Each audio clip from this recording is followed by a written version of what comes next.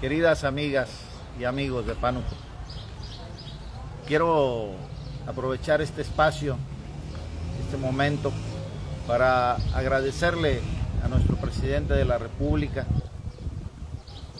esta gran distinción que le hace al gobierno del estado de Veracruz, al gobernador Cutlagua García Jiménez, agradecerle la distinción que le hace a Pánuco para que participemos en Palacio Nacional cantándole las mañanitas a todas las mamás de nuestro bello estado de Veracruz.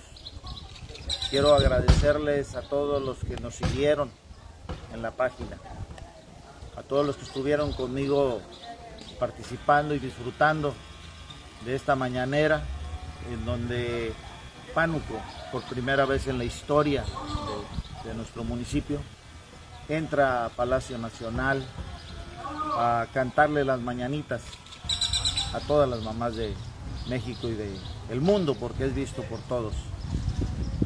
Quiero agradecer a Dios que nos permite estar unidos y trabajar en equipo.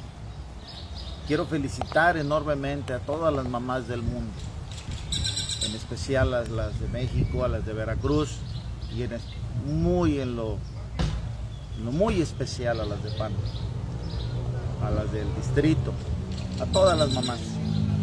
Quiero agradecerles que junto a aquellas mamás que trabajan con nosotros, hacemos posible que las cosas vayan cambiando y que vayamos transitando por la transformación de nuestro municipio. Madres, hoy es un día muy especial para todas ustedes. Pero no solo es este día. Día de las Madres debe de ser todos los días. Son nuestro gran pilar, son nuestras grandes formadoras, nuestras consejeras, las que nos trajeron al mundo, las que lucharon por todos nosotros. Quiero agradecer muy en especialmente a mi madre, María Ofelia de Paz Flores, mi mamacita linda que está en la casa y que hoy, como hace 54 años, me trajo al mundo. Quiero agradecerle a mi hermana, Rocío Guzmán de Paz,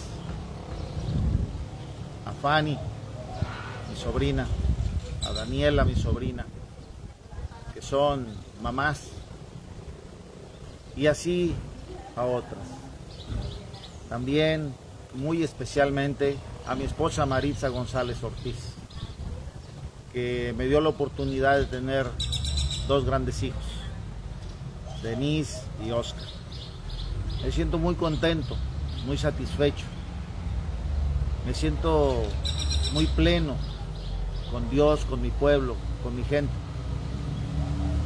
Hoy es un día de festejo porque tiene una fecha, pero la fecha en nuestro corazón es permanente. Y disfrutemos y vivamos cada momento que tenemos la oportunidad de estar con ellas. Y digámosle lo que a veces no decimos. No hay mayor regalo que el amor. Y eso no se compra con nada. El agradecimiento por todo ese gran esfuerzo que hace.